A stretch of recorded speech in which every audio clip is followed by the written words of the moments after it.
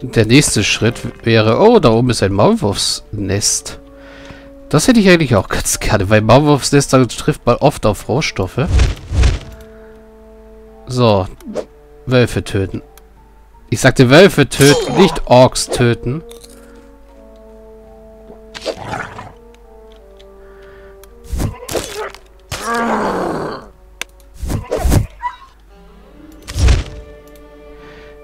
Ja toll, jetzt hast du einen Vorsprung vom anderen. Weil ihr euch ja unbedingt mit den Orks anlegen müsst. George!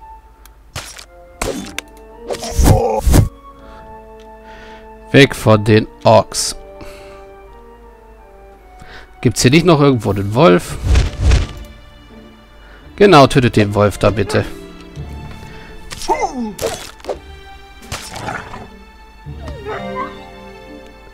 Oh, und ich habe zwei, ich habe zweite Luft leider nicht.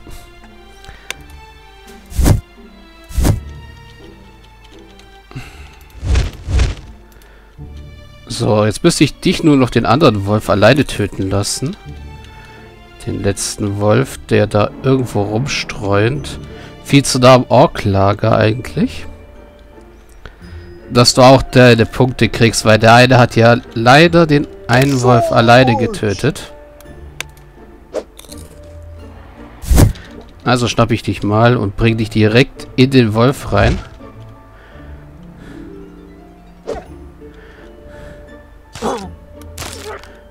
So, und dann porte ich dich auch gleich wieder weg. So. Turmalin. Turmalin ist gut.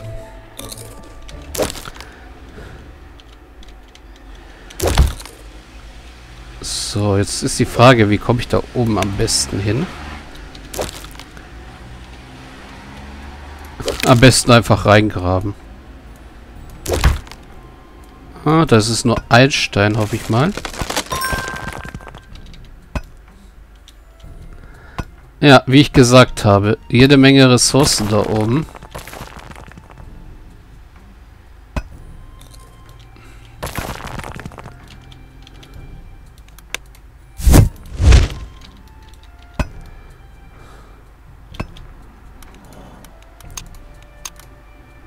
Wobei das teilweise, glaube ich,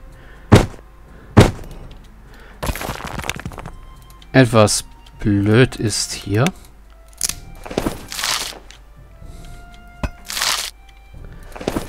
Oh, das ist nur ein gefährlicher aber Also hier müsste ich nachher Holzblöcke setzen. Alles andere ist nicht so wild.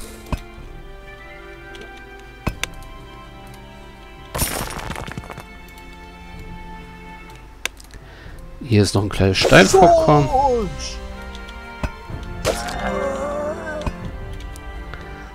So, sind beide Level 8, ja. Ich glaube, ich nehme als nächstes mal zweite Luft. Das ist sicherer als den Plattenpanzer zu nehmen.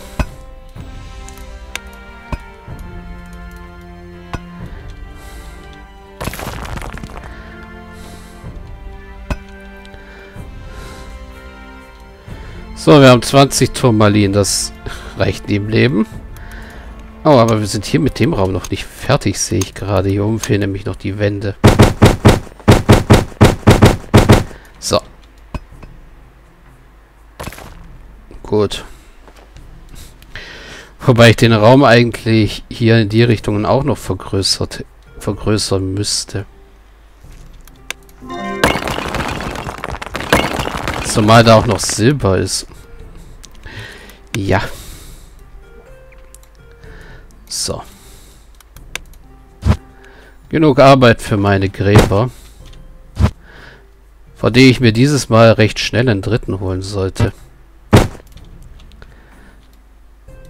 Am besten jetzt gleich.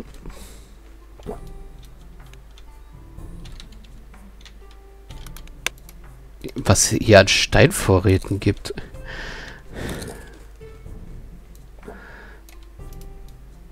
Schon ziemlich unfassbar.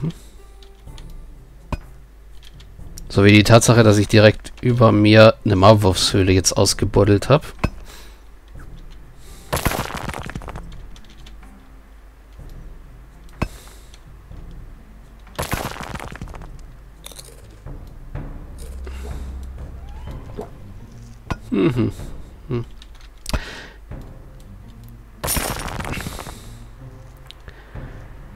Ja, lassen wir ihn den Raum ausheben den anderen Raum. Und mit dem Holz, was ich jetzt schon habe, durch die ganzen Räume, die ich geplündert habe, fange ich mal an, hier zuzumachen.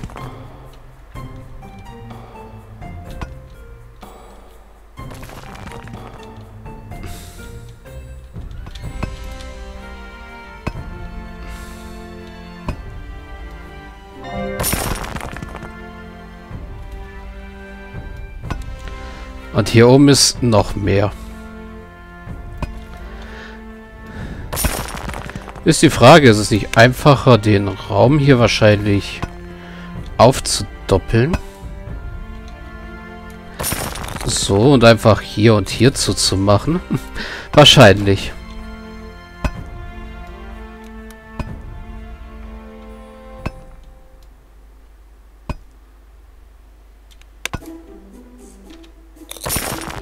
So, dass ich einfach so den Raum hier aufdoppel. Ernsthaft, da ist Turmalin. Okay. Das Spiel ist gemein zu mir.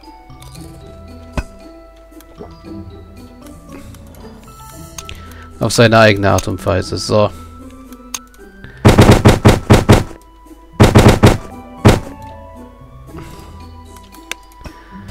Der Raum sieht gut aus. Äh, Mist. So. Dann kann ich jetzt noch mal ein paar Pflanzen aufstellen.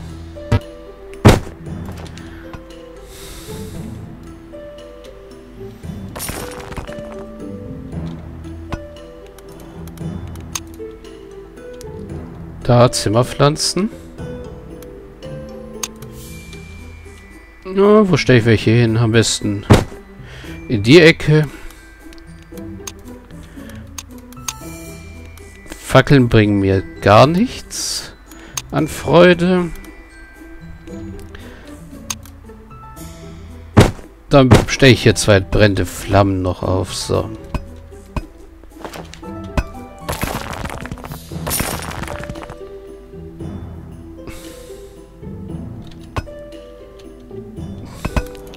Guckt euch mal an, wie viel Turmalin da ist.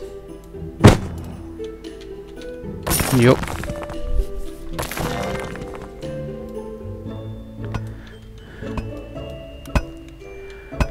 Langsam kriege ich wieder ein grünes Plus. Also könnte ich mal einen Jungzwerg anfordern, der nachher gleich dann mein erster Forscher wird, wenn ich das Turmalin hier habe.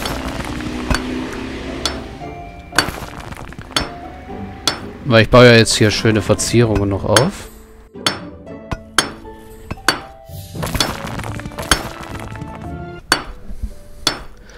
So, du baust da die Sachen auf. Der Raum ist fertig. Da ist unser Zwerg, der nachher zum Forscher wird, wenn wir das Turmalin haben.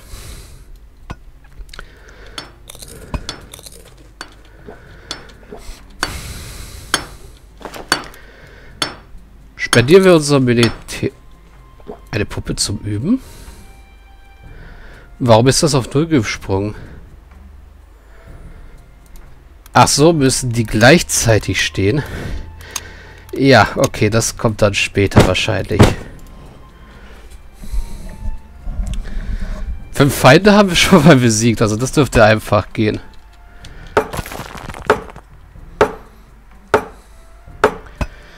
Ja, die Übungspuppen müssen gleichzeitig stehen.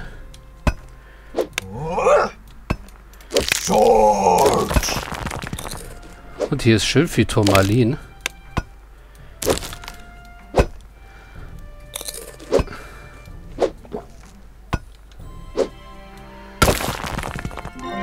Okay, hier ist viel zu viel Turmalin. Ich hole mir gleich einen zweiten Forscher.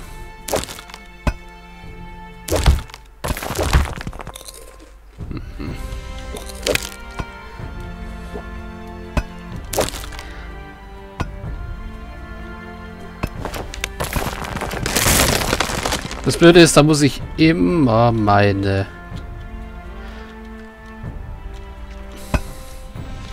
Ja. Immer mein Holz darauf verschwenden. Das alles wieder hinzubiegen. Also, die, dass die Räume schön aussehen. Expertenforschungstisch für umsonst. Ich habe jetzt gerade gecheatet, oder? Ja, ich habe gerade gecheatet.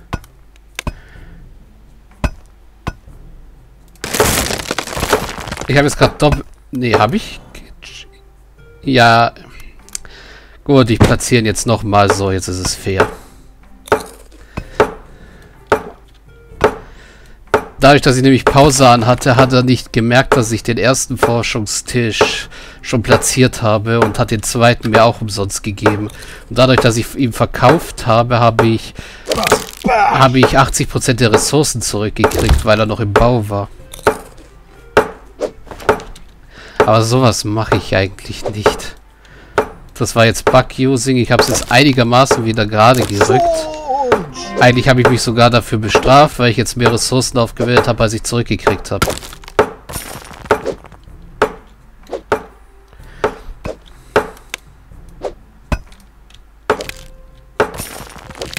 Aber ich denke, das ist okay.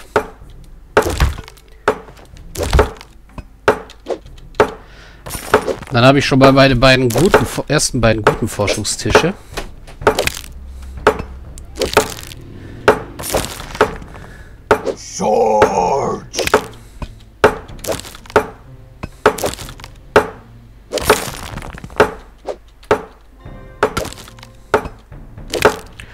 Hier hätte ich gerne auch noch.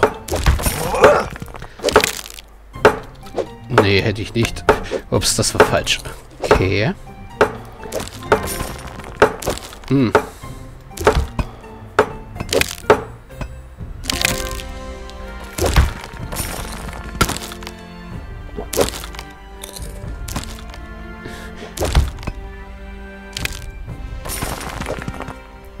Mir fällt gerade so auf, ich habe dadurch, dass ich den Raum erhöht habe, alles schlimmer gemacht, weil die hier alle rausgucken. Und da ist noch mehr Turmalin. Turmalin und Steine.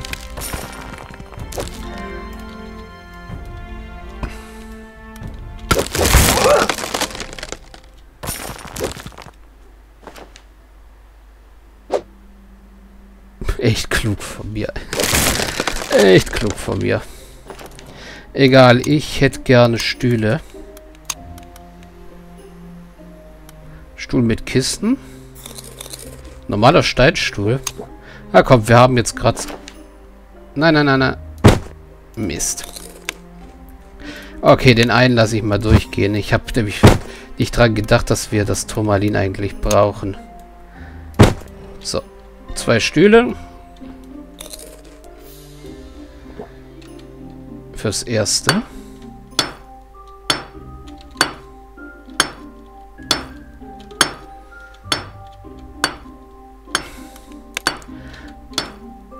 Und darunter könnt ihr begraben. Dann mache ich erst hier alles dicht und dann kümmere ich mich nach und nach hier drum. Ich muss dann, dann nämlich wie viele Blöcke setzen? Eins, zwei, drei, vier, fünf. Statt den vorherigen drei oder was es waren.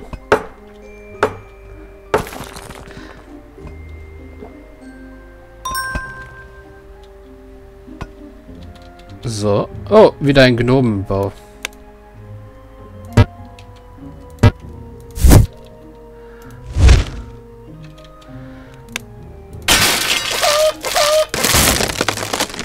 Tja, leider hast du hier unten Gold.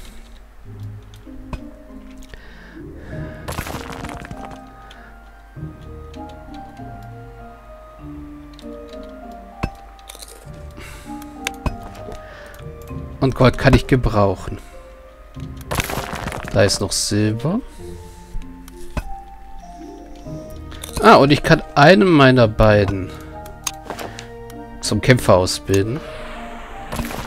Und den anderen könnte ich theoretisch auch gleich zum Fernkämpfer machen. So, fürs Erste. Wie viel kostet das erste Upgrade des Zwergenhorts? 1000.